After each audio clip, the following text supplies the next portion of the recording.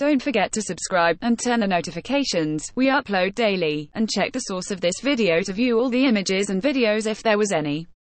In what both the mainstream media and social media, along with the Democratic Party deemed a highly controversial move President Donald Trump revoked the security clearance of former CIA Director John Brennan. For the rest of America, they are simply wondering why it was not done sooner. After revoking Brennan's security clearance, President Trump ordered a review of other officials believed to have played roles of some significance in events leading up to the appointment of special counsel Robert Mueller and the subsequent farcical investigation into Russian collusion. Brennan was first on the list due to the use consistent use of his status to make a series of unfounded and outrageous allegations, and wild outbursts on the internet and television about this administration, yet social media and the propaganda outlets of the Democratic Party purporting to be the free press tried to break the internet as they furiously took to various forms of social media to express the collective criticism and outrage over President Trump's decision. Brennan himself went nuclear over the loss of his security clearance writing an op-ed in the New York Times claiming that President Trump is trying to silence him. Brennan also took his tirade to Twitter, tweeting about President Trump's decision, with claims the actions of the president are part of a broader effort by Mr. Trump to suppress freedom of speech and punish critics. Trending, Sarah Sanders laughs in hateful CNN host's face after catching him in huge lie during live interview Brennan adds, it should gravely worry all Americans, including intelligence professionals, about the cost of speaking out. My principles are worth far more than clearances. I will not relent. This action is part of a broader effort by Mr. Trump to suppress freedom of speech and punish critics. It should gravely worry all Americans, including intelligence professionals, about the cost of speaking out. My principles are worth far more than clearances.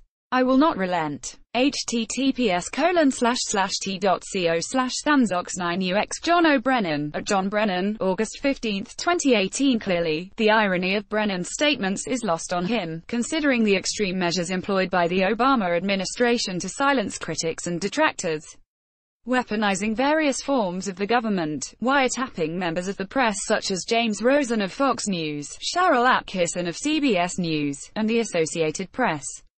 Then there was IRS being used to target Republicans and conservatives. The various intel agencies discovered secretly monitored conversations of members of Congress while the Obama administration negotiated the Iran nuclear deal, despite the 2013 denial by former Director of National Intelligence James Clapper when he assured Congress the NSA was not collecting any type of data at all on millions or hundreds of millions of Americans.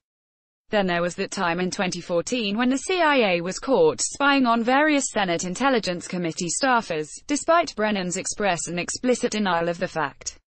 Then there were also the wiretaps on then-Congressman Dennis Kucinich, OD, in 2011 under the Obama regime and countless other additional examples. No American that has even the most minuscule amount of knowledge of history or even a rudimentary understanding of the Constitution wants American intel agencies to be used much in the same vein as the Stasi in East Germany, the secret police spying on its own citizens for political purposes. The prospect that the likes of the NSA, CIA, FBI, and others have been politically weaponized against the American people is becoming undeniable, however. Yet there is also significant support for President Trump, even coming from unexpected corners. This may be a sign that the tide is turning and the cabal that conspired to fix the 2016 presidential election in Hillary Clinton's favor is going to be exposed and ultimately held to account. Their actions when this failed and the course they set on to remove President Trump, a duly elected president from office by any means necessary will be revealed for all to see. According to the American Thinker, as the Democrats and their media enablers bloviate about John Brennan's imaginary First Amendment right to a perpetual security clearance, a statement of support for the president came from an unexpected source yesterday. Lou Dobbs tweeted an official statement from establishment Republican Senator Richard Burr of North Carolina, on comments by Barack Obama's former CIA Director John Brennan, Senate Intel Chairman, Richard Burr is defending President Trump. I believe this is a remarkable turn in the tides of Washington affairs and may well represent the beginning of the end of the Mueller witch hunt. At Real Donald Trump Hashtag America First Hashtag DobbsPic Twitter.com slash YP7 Spacker, Lou Dobbs at Lou Dobbs August 16, 2018 Lou Dobbs may be onto something in terms of the significance of this statement. Burr is highlighting a trap that Brennan is now caught in. As Clarice Feldman pointed out, Senator Burr is the chair of the Senate Select Committee on Intelligence, SSCI, and a member of the Gang of Eight that gets access to the most secret documents. He is also a conspicuous member of the GOP establishment and until yesterday had been reticent in his approach to these deep state scandals. Yet here he is, alluding to a trap that Brennan may be in.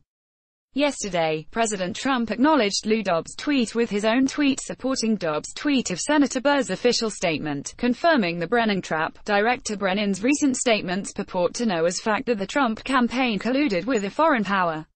If Director Brennan's statement is based on intelligence he received while leading the CI, why didn't he include it in the intelligence community assessment? Donald J. Trump, at Real Donald Trump, August 17, 2018, released in 2017. If his statement is based on intelligence he has seen since leaving office, it constitutes an intelligence breach. Richard Burr, RNC, Senate Intel CMTE Chair at Lou Dobbs, Donald J. Trump, at Real Donald Trump, August 17, 2018 Senator Rand Paul, KIR, was also vocal in his support of the stripping of Brennan's security clearance and had in fact been urging President Trump to do so for some time. I applaud President Trump for his revoking of John Brennan's security clearance, Paul said in a press release. I urged the president to do this. Today I will meet with the president and I will ask him to revoke John Brennan's security clearance.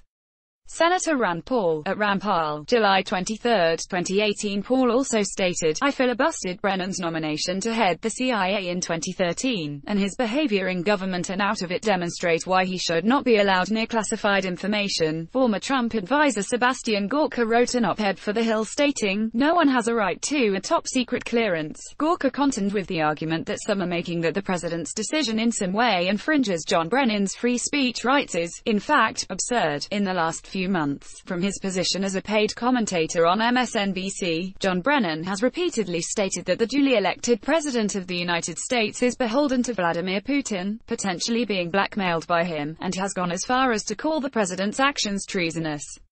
This is a devastating charge to make, one that no other former cabinet-level political appointee has made about a sitting president.